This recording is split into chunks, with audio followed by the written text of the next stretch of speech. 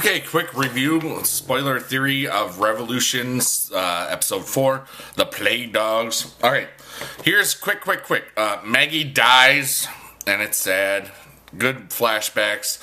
Mom has some good flashbacks. Uh, Mom only joined the, uh, you know, the, the militia people because Miles asked her to, which we find out at the end.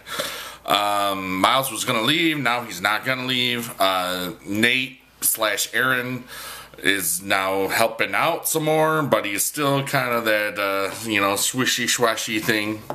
Uh, this is a kazoo from fourth grade, whatever. Um, here's what's going to happen, I think. All right. Um, oh, there was a tornado that, you know, almost destroyed lots of stuff. Neville and, uh, you know, Danny have a heart to heart. Danny saves Neville's life. This will actually help Danny in the long run, okay? Even though he gets cuffed back up. But uh, I think Neville knows that he's bringing him to his mom, so that's a good thing in his brain too. Uh, but yeah, big thing. Maggie died, and uh, the whole thing is uh, there was a guy with dogs. The guy died. The dogs stopped when he blew the whistle.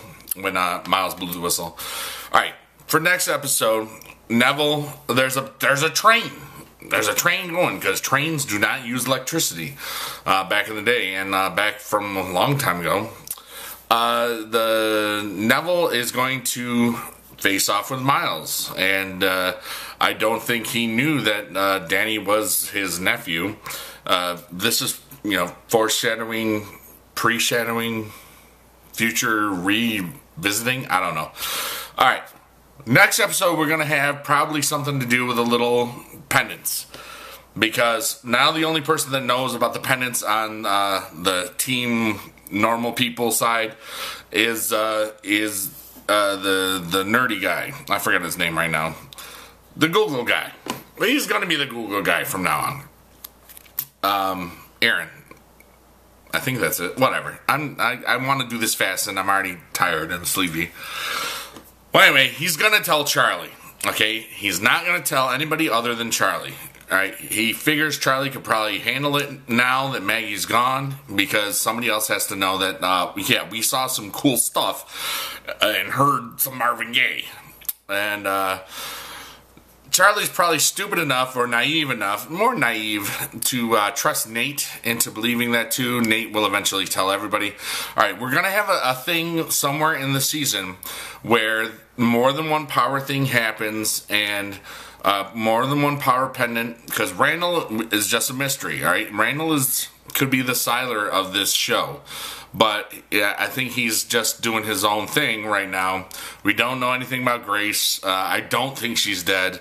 It would be a shame if she were, because she's a cool, uh, cool person.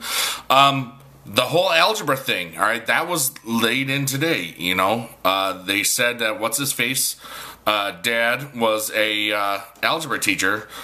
Uh, Grace said that she was an algebra teacher too, so this is a math problem now. Something about math uh, made the electricity stop. Okay, and uh, not, we're gonna find out. Uh, if math can stop something, math can start something. You know, that's what's up. Uh, what do you think? Blah blah blah blah. Comment.